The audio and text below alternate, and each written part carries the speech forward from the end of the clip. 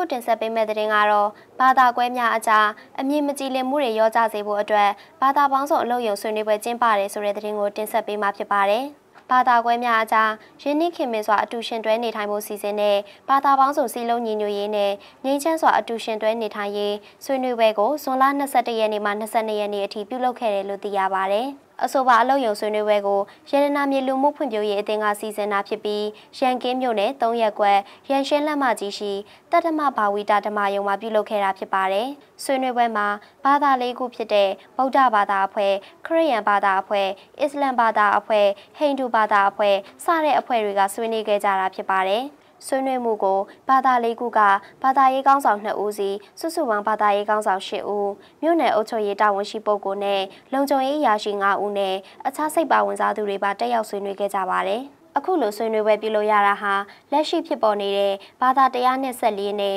တအုပ်ပေါ်တအုပ်ထားရှိတဲ့တန်ရာများအမြင့်မကြည်လင်မှုတွေရောကြစေဖို့နဲ့ဘာသာကွဲတွေအကြားရင်းနှီးခင်မင်စွာအတူရှင်တွဲနေထိုင်နိုင်မှုရည်ရွယ်ချက်နဲ့ပြုလုပ်တာဖြစ်တယ်လို့စီမံကိန်းဒါရိုက်တာဒေါက်တာနှင်းအေးကိုကပြောကြားခဲ့ပါတယ်။ဆွေးနွေးပွဲမှာဘာသာရေးကိုအခြေခံတဲ့ငြိမ်းချမ်းရေးဆွေးနွေးမှုတွေပါဝင်ကြောင်းသိရပါတယ်ရှင်။